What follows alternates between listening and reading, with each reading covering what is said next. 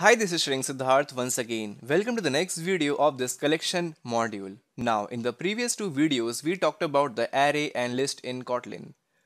So in this video, we will discuss about the maps in Kotlin.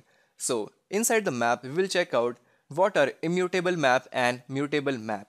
So first of all, let's check out the immutable map that supports only read-only operation using the method of map off. So here inside the IntelliJ IDE, let me clean up my code. So what is actually a map? Now the map is actually the data structure. So this data structure contains the elements in the form of key value pair. So each value is specified is connected to a specific key that we will check out shortly. So what do I mean by this is to define a map we need to use the var or val keyword. Let's say my map equal to map of. Now this map of returns the immutable map. Now this map of keyword actually returns the immutable map.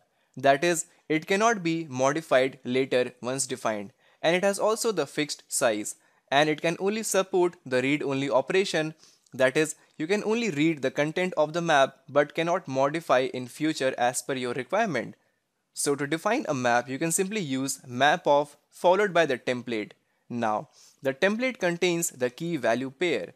The key can be let's say int in our case and the value can be a string right now. This key can also be a char or this key can also be a float. But in our case, I am keeping it int, right? And this value can also be a int and any combination can be applicable here as per your wish. Int float, int string, int char, int boolean and so on. But right now, let us use string, right?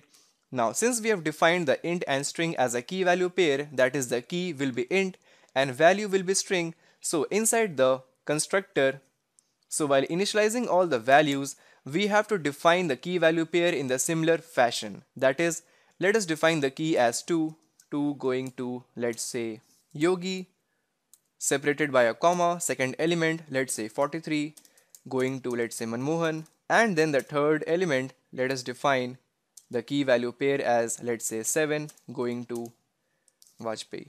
So here, I have simply defined the key value pair.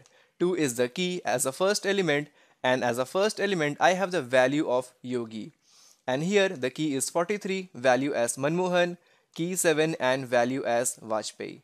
Now make a note here that inside the map since they are present in a sequence but the key need not to be in sequence that is this two can be 4 as well right?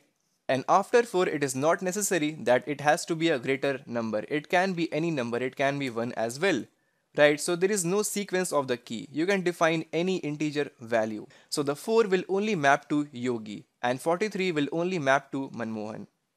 And now since this my map is actually immutable in nature so you cannot let's say put any other elements inside this that is once defined you cannot modify in future you can only print out the values using the print ln statement or the for loop right so for this let us print out the elements inside the immutable map by using the key. So here I will simply define the key and then my map dot keys. So my map dot keys will simply return all the keys that is 4, 43 and 7 and store it inside the key variable one by one. So here I will simply use let's say my map of key. So my map of key will simply return the value associated with the key that is Yogi, Manmohan and Vajpayee. And in the output console, you will get all the outputs. Let's see the output. So here we get Yogi, Manmohan and Vajpayee.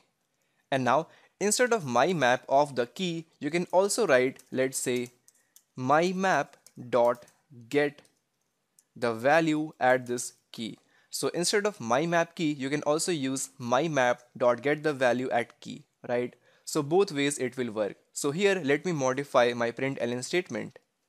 So here element present at this key and here I'm simply printing out the key and also the map dot get key. So here I will use my map dot get or instead of this you can also use my map at the index of key, right? So let us now run the code. So here we get element at key that is At 4 we have Yogi, at 43 I have Manmohan, at 7 I have Vajpayee. Now in future suppose you want to modify let's say I want to modify my map. So for that you cannot do it because it is immutable in nature. So the Kotlin provides the mutable map that is the mutable collections. So inside the mutable map you can simply use hash map hash map of mutable map of. So let us try these things inside the IntelliJ IDE. So instead of map of, you can simply use, let's say, hash map. So this hash map, again, if you are from Java background, then you must be familiar with this hash map. It contains the value as a key value pair. Now to define a hash map, let us remove all these code from here. And down the side, I will simply use my map dot put. and then simply pass the first parameter as key let's say 4 comma yogi and similarly I will add Manmohan and Vajpayee. So here I have simply added the two more elements and here this hash map is actually mutable in nature that is we can perform the read and write operation both and it has no fixed size that is in future we can add more and more elements as per our wish.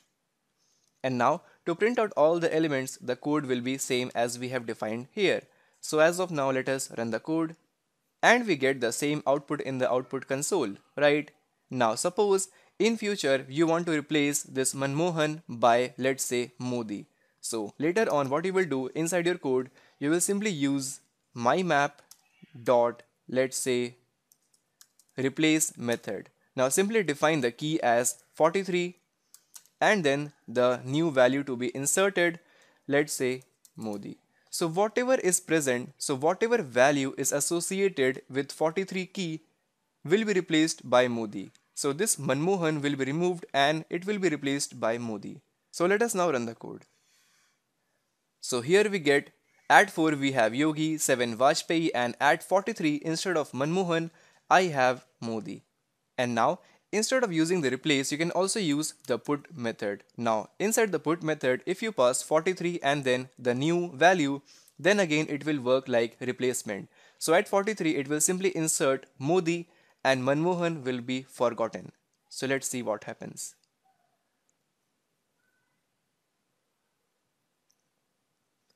So in the output again, we have at index of at the key of 43, we have Modi. So Manmohan is gone.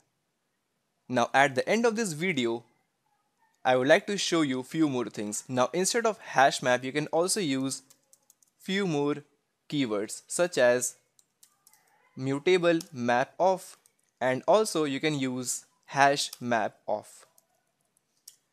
Now all these three are actually representing a hash map. The only difference is that this mutable map of actually returns a linked hash map.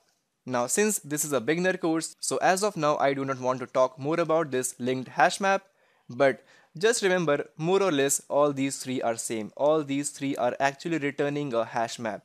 So in this video we talked about the map of and also hash map, hash map of and mutable map of. And also we learned the difference between the mutable map and immutable map.